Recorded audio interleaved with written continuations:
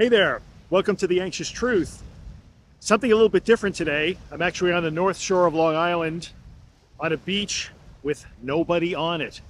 And I promised that I would do a series of podcasts where I went to places that I used to be terrified to go to and I would record those podcasts. This is number three in that series. So I just want to talk to you for a few minutes today about what it was like to be in a place like this when I was at my worst. I would have never come to this beach especially this time of year where it's preseason. It's a little bit of a colder day. As you can see, it's really windy. I hope you can hear me. And uh, there's nobody here on this beach. I mean, there's a few scattered people around, but but I could count them all on one hand. And they're all really far away. They're really quite far down that way and really far behind me. So I walked a ways out into the sand to get to where I am now. And I would have never come to a place like this because I am too far from help, air quotes, help at the time when I struggled the most with panic disorder and agoraphobia, I was constantly really concerned that I might need medical attention. And so driving here to this beach through an area where my cell phone doesn't really get service, where there's nobody and where I'm far from a hospital or ambulance or EMT doctors, medical attention, just any other human beings that could so-called rescue me would have been out of the question. I would have never done it. Yet here I am now. So this is would, would have been an, a very difficult place to come to, or really an impossible place to come to. And I would struggle to come to places like this, even with other people when I was at my worst, like with my family. And when you live on a place like Long Island, which is surrounded by beaches, it's what we have on all sides of us, it really tends to point out how restricted your life is because going to the beach and being on beaches and being by water is sort of baked into what we do here. It's the way I grew up, it's what I know and I was not able to do that for a very long time. So I thought that today, coming to this beach on the off season with no one here when it's pretty much deserted, and if something were to happen to me, I don't know if anybody would be able to save me, was probably worth doing.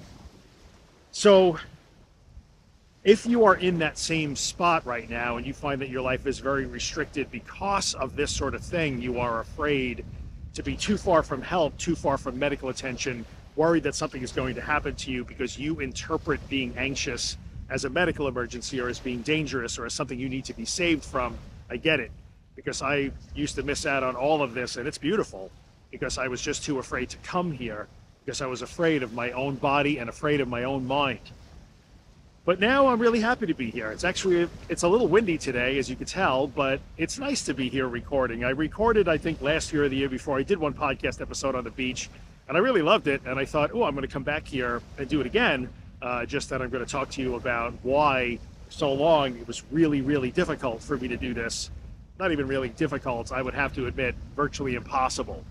So again, just to reiterate, if this sounds like you and you find that your life is severely restricted because you fear that you cannot be too far away from help when you panic or when your heart is racing or when it feels like you're going to pass out or when it feels like you're going to have a psychotic break and you think you need to be saved, I hear you. I hear you. I used to be you too. But the topic of today's podcast is not just that. The topic of today's podcast is how do I stay recovered? People often ask me for tips like, okay, life after recovery, what do you do to make sure it doesn't come back? How do you stay recovered? And really, the answer to that is that I don't do anything to stay recovered, primarily because I don't have to do anything to stay recovered. Now, one thing I will tell you is one of the habits that stays with me post recovery is that I always make sure to not go into avoidance mode listen, even for people who are not anxious, people who are not dealing with disordered anxiety, life can be sometimes scary. There are things that make us uncomfortable. There are things that we worry about. There are things that we are afraid to do. That's true. There are things that stress us out. Now, I'm not going to tell you that I spend my day jumping out of airplanes or bungee jumping or cliff diving or things like that. I, I don't do those things. But anytime I am confronted with something that makes me a little bit uncomfortable, after the, the process that I went through to recover from an anxiety disorder, I will automatically go toward that discomfort. So if you want to know like what I do to stay recovered, I might say that that's one habit that I am in sort of not even without even really thinking about being in that habit. I tend to do that. I tend to go toward discomfort and toward uncomfortable things and toward challenging things. And to a certain extent, I believe that maybe that does somewhat inoculate and keep me from sliding backwards because we all do have a propensity to slide backwards. But the reason why I started by saying that I don't need to do anything to stay recovered is because the way I view anxiety, the way I view panic, the way I view the physical symptoms, the way I view the thoughts are very different than the way they used to be viewed years ago. And in last week's podcast, I believe it was last week's podcast, I talked about, or one of the podcasts recently, I don't even remember, I did talk about how you will judge your anxiety based on how you feel about it today. And when you project yourself into the future, you think about it the way you are today. So you will put the today version of you in the future and think, there's no way I could ever not be afraid of this. But that's because today you was afraid of it. And back in the day, I was afraid of it too. But the difference is I'm not that person anymore. So I don't really have to do anything to stay recovered because in a way, there's nothing to recover from. Now, I don't know if that makes some sense. If you're struggling and you're in the thick of it right now, that might, might, might not make a whole lot of sense. But I promise, as you go down the road and as you work on this and as you continue to work the process, it will begin to make sense to you. I promise it will. Because in the end, you're the one that's changing, right? I did talk about that pretty recently. You're the one that's changing. The anxiety is not changing. The anxiety isn't going away. The anxiety isn't getting any different. You're changing and you're forming a new relationship with it and you just see it differently. So I don't have to do anything to stay recovered because I have nothing, I'm not afraid of anxiety anymore. It doesn't occupy the same place in my life that it once did. It doesn't have an influence on what I do. It doesn't make decisions for me. It never factors into anything that I do. If I got a phone call right now that said, hey, why don't you hop on a plane and come to Colorado to visit me? I would do that or not, but whether I did it or not would have nothing to do with how anxious I think I'm going to be, or whether I might panic in an airport, or whether I might be too far from home. None of those things enter into my mind or my thoughts ever anymore. So I don't really have to work at staying recovered at all because there's nothing to recover from. I'm just not afraid anymore. So if I have a panic attack alone on this beach, I know that it'll be over. It won't be nice. I won't like it. I don't want to have a panic attack on this beach. But if I did have a panic attack on this beach, I know that it would not be the ruin of me. It would be really uncomfortable and scary, and I would like it to be over quickly, of course. But I know that it will be over, and then I'll go about my business as best I can. So it's really important for me to say that. Now, does that mean that I never take care of myself? I don't, I just run myself into the ground. I have no healthy habits. Of course, it doesn't mean that. I would like to think that I make my best effort to take care of myself the way anybody should probably take care of themselves, regardless of their anxiety or mental health situation. I'm, I have terrible sleeping habits. I will freely admit that. I'm working on that. I really am. I promise. I'm not making good headway, but I'm trying. But I try to eat well. I exercise all the time. I meditate every day. I try to stay engaged with hobbies. I try to maintain healthy relationships in my life. I do all of those things because they're just good for human beings to do. Does that help me stay recovered? It probably does because it means that I'm able to keep my stress level relatively low even during stressful times and it's going to spike. It'll just come back down again and I do I think I do a really reasonable job of managing my stress levels. So I never get to the point where I'm so overwhelmed that my psychological flexibility and resiliency drops way down. Because I will tell you what it would mean to stop being recovered or to have a relapse it would mean that I would experience some sort of psychological challenge in the form of a scary physical sensation that I interpret somehow as dangerous, or a scary thought, or just general sense of fear or doom, or some scary thought that I used to have about death or existential problems or not existing anymore or getting some disease or something like that, I would experience what I used to experience and then I would choose to deal with that in the old way. Now, is everybody vulnerable to that? Yeah, we are all vulnerable to that, especially in times when we're under the gun. And like I said, our flexibility and resiliency might drop down a bit. We are vulnerable to that. We are we are vulnerable to making choices to do things the old way, the way that got us in the hole, the way that ruined everything, the way that helped the disorder develop and get maintained. So, are my healthy habits now sort of keeping me out of that trap? Yeah, they probably are to a certain extent but I don't do them for the purpose of keeping the anxiety at bay or making sure I don't have a relapse. I don't plan any of my life around making sure that I don't go backwards or keeping it from coming back. I never ever think about that. In fact, this is the most I've thought about that in years and years and years, only because I get asked all the time for my tips on maintaining my recovery. And I'm like, okay, it's about time that I record that podcast episode. So here I am. But otherwise, I never think about these things. I never say I really should sleep more or else I might be anxious. I say I should sleep more because I don't like being tired. And, and I am tired a lot. So more and more that's become a thing. And it's like, okay, so this is going to prompt me to try and change my sleep habits, but it has nothing to do with feeling anxious or afraid or like, oh, I'm not getting enough sleep, so my anxiety is through the roof. I never think that. I never think that I should make good food choices for my mental health.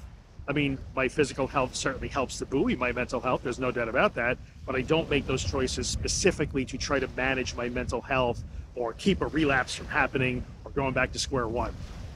So, how do I sum this up? It's a relatively short episode that I just wanted to wanted to bring you to this place to record because it's a place that I was once unable to come to to record, uh, especially by myself. But I really wanted to kind of go through that. What do I do to stay recovered? What do I do to make sure that I don't relapse? What do I do to make sure that I don't go back to square one? What do I do to make sure that it doesn't come back? I do nothing because the it that you are so worried will come back one day doesn't exist. There is no it for me anymore.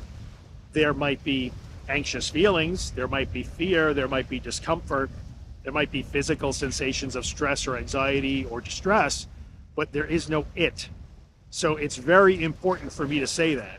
What do I do to keep it from coming back? I do nothing to keep it from coming back because there hasn't been an it in my life for a very long time. So that's it. It's a relatively short episode this week. I don't have a whole lot more to say about that. I just let me recap quickly so I'm not misunderstood. I am a big fan of healthy habits. I think everybody should take care of themselves. Everybody should take care of their body. Everybody should take care of their mind. Everybody should take care of their emotional health, their spiritual health. You should do all of those things. Everybody should do that. But I am not a fan of those things specifically because of what that it's good for anxiety or because it's a recovery trick or because they're anxiety shields. I don't think that at all. I just think that those are things that everybody should do because it does help us live you know, a more productive life, a more fulfilling life, a less encumbered life. Like it gives us choices, it gives us freedom. Take care of yourself because it's a smart move to take care of yourself. You get one life, you get one body, like take care of it. So I am a fan of those things, but I am not a fan of those things just to maintain recovery or to achieve recovery or to stop anxiety from happening. None of those things. So yeah, I have a lot of healthy habits. I will continue to have a lot of healthy habits, but I, I do them just because they're smart choices. They have nothing to do with anxiety, and they haven't in a very, very long time. I used to have a lot of habits that I would tie to anxiety, but I learned a very long time ago that they had nothing to do with my panic attacks, so they had nothing to do with my recovery at all. And toward that end, I will leave you with something a little bit cheeky. Listen, I know a lot of people in this community who are kind of proud of the fact that they got recovered and have stayed recovered on a steady diet of chocolate, you know, cola, and cigarettes. And that's true. Those people do exist, and they are living those lives fueled by chocolate, cigarettes, and cola. You know, hamburgers, McDonald's. Like, I know a lot of people that almost view it as a badge of honor that they have terrible diets, they don't exercise, they don't meditate, and they recovered, and they are still recovered today. So there you go. The proof is in the pudding, in a way. And I always enjoy when those people speak up. I'm not sure why sometimes they get so passionate about that. That's fine. You live your life any way you want. But that's that's the deal in terms of like recovery habits and staying recovered and especially for me, there's nothing to maintain. The recovery isn't recovery anymore. Recovery was a process. Recovery isn't really a state that I live in. I just live. I don't have to live recovered. I just live. So, thanks for listening to me. Thanks for coming along to the shores of Long Island Sound with me. I hope that the sound is okay. I'll probably have to rig it a little bit when I get back to the studio and play with it so you can hear me. Um, I don't think I'm going to do a, a uh, next week. Or going to talk about. I don't know. We're going to talk about next week as usual, but I will be back for another podcast. I don't know where I'll be. Maybe I'll just be back in the office to do it. I can't really tell. Just a quick reminder: uh, if you're watching this, especially if you're new to the podcast, if you're watching on YouTube, hit the subscribe button, like the video, leave a comment. Twice a week at least, I circle back to YouTube and answer my comments. If you're listening to this as a podcast on Spotify or Apple Podcasts or some platform that lets you rate or review the podcast, leave me a five star rating maybe write a quick review if you really dig it because it helps other people find the podcast and then other people get the help that I am trying to provide to as many people as I can. And that's it. Thanks a bunch. This is this episode of The Anxious Truth because I don't even know what episode number this is. Thanks for hanging out, and I will see you next week. Remember, keep moving forward because every step forward you take counts, no matter how small it is. See you later.